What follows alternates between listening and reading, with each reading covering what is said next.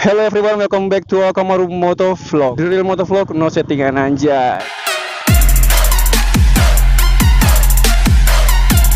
Dan di malam kali ini kita NR ya, ini aku NR nggak sendirian, bareng teman-teman juga. Oke, saya jadi di malam ini kita langsung aja ada yang mau dibahas pastinya ya. Kalau Akamaru nge-vlog tuh pasti ada yang mau dibahas ya kan. A few moments later. Payah coba pakai HP masih celingak celingu. Lurus aja pandangan. Iya ke kanan. Kanan kanan. Iya kanan aja. Gak enak ya. Aku baru nyadar loh kena apa baju dia ini. Pro street ya kan? Anjay.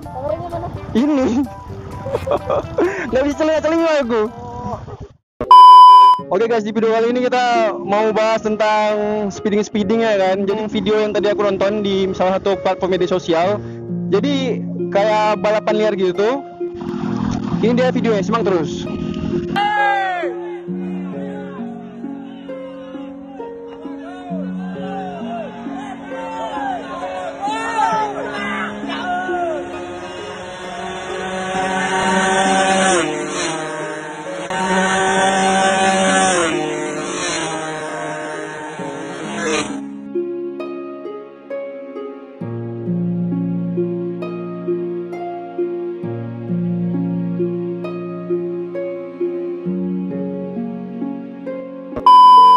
Nah teman-teman itu dia videonya. Kalian bisa lihat sendiri kan?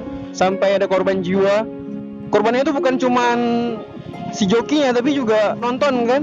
Karena emang ada safety-safety-nya sih. Apalagi kalau malam gitu ya mana kelihatan. Namanya motor balap liar ya kan? Nggak ada lampunya.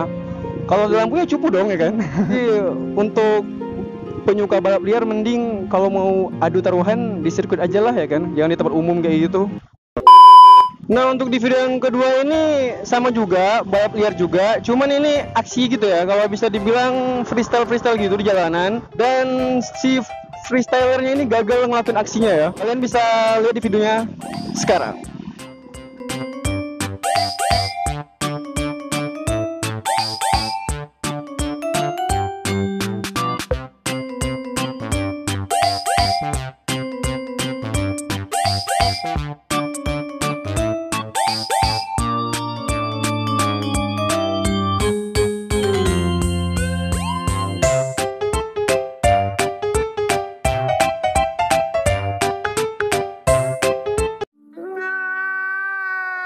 Itu dia aksi gagal dari freestyler yang melakukan aksinya. Saat dia ingin melakukan atraksi berdiri dia malah jatuh lepas kendali. Dan motornya jalan sendiri ya ke jurang ya. Bayangin aja itu kalau sampai tadi itu bukan jurang itu orang semua isinya. Gimana coba? Ya kan bahaya banget ya.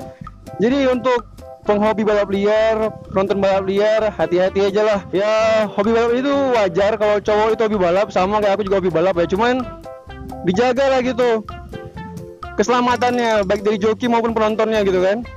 Yang namanya liaran itu kalau kalian kenapa-kenapa gitu nggak ada yang tanggung jawab. Misalnya kecelakaan di lintasan atau penonton tertabrak gitu kan nggak ada yang tanggung jawab. Jadi saran dari aku mending hati-hati aja.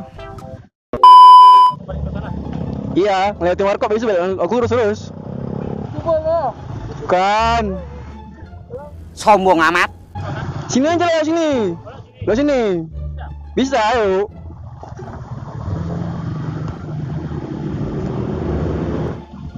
Satu, dua. Aku nggak tahu nih keboran ke mana nih. Aku sosok tahu aja nih sumpah. Kampret, kampret. Semoga jumpa jalannya ya. Kayaknya ini deh.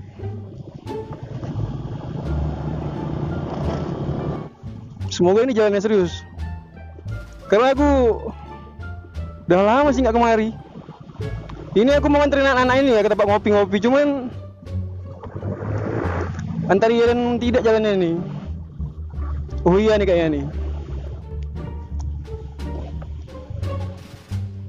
Balik aku ya? Balik aku ya? Iyalah. Ya? Yuk